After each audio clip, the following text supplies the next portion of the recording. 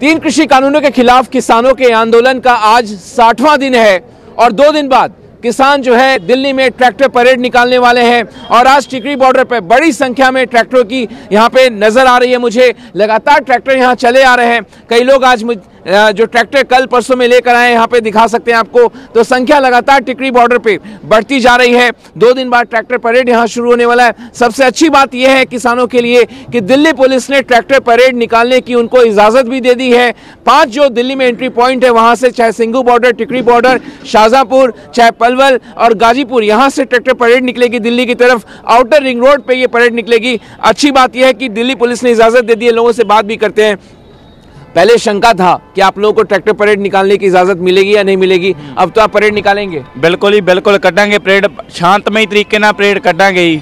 ਹਾਂ। ਸਭ ਤਿਆਰੀਆਂ सब तैयार है बिल्कुल ही बिल्कुल और ट्रैक्टर चले आ रहे हैं हाँ जी हाँ जी बहुत आ रहे हैं ट्रैक्टर बहुत सारे ट्रैक्टर चले आ रहे हैं हाँ जी हाँ जी क्या लगता है सरकार ने इजाज़त दे दी आपको पुलिस ने इजाज़त दे दी हाँ जी दे खुश है बहुत खुश आपको देखिए, ये इसी तरीके से जो हर ट्रैक्टर पे तिरंगा लहराते हुए जो है दिल्ली में परेड निकलेगा। आपको बता दें, किसानों ने, किसानों के नेता ने तमाम बातें कही हैं कि हर ट्रैक्टर पर तिरंगा लहराते हुए, क्योंकि 26 तारीख है, गणतंत्र दिवस है तो किसान इस बार गणतंत्र दिवस दिल्ली में, राजधानी में यहाँ पे मनाएँगे। क्या कहेंगे? दिल्ली पुलिस ने आपको इजाज़त दे दी। नहीं, ठीक है जी, सारा बढ़िया। अपना फैसला सारे इंडिया ने किया ਉਹ ਆਂਦੇ ਵੀ ਸਾਡਾ ਟਰੈਕਟਰ ਚੱਲਣਗੇ और ਜ਼ਰੂਰ ट्रैक्टर चली आ रही है कि और भी कहाँ कहाँ से आ बहुत रही है ज्यादा है पंजाब हरियाणा सभी से ट्रैक्टर बहुत आ रहे हैं पीछे बहुत जाम लग गया बढ़ बढ़ गया है ट्रैक्टर बहुत रात कल तक आएंगे हाँ, हाँ।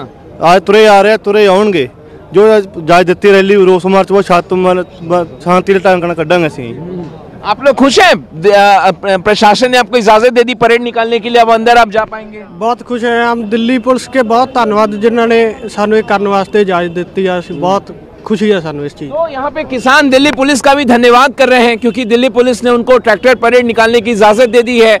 जो रूट मैप है वो आ, उस पर चर्चा होगी वो फाइनल होगा लेकिन अच्छी बात यह है कि किसान जो साठ दिनों से दिल्ली के अलग अलग बॉर्डर पर डटे हुए हैं उनके लिए अच्छी बात यह है कि वो ट्रैक्टर परेड छब्बीस तारीख को गणतंत्र दिवस के दिन निकाल सकेंगे। ये किसानों के लिए अच्छी खबर है लेकिन सबसे बड़ी बात कि कब तक ये यहाँ पे डटे रहते हैं ये महत्वपूर्ण है। तीन कृषि कानूनों को लेकर सरकार अभी तक कोई निर्णय नहीं ले पाई है लेकिन अच्छी बात यह है कि ट्रैक्टर परेड निकलेगा 26 जनवरी को। कैरन भारत के साथ मनीष कुमार न्यूज़ 24 टिकरी बॉर्डर।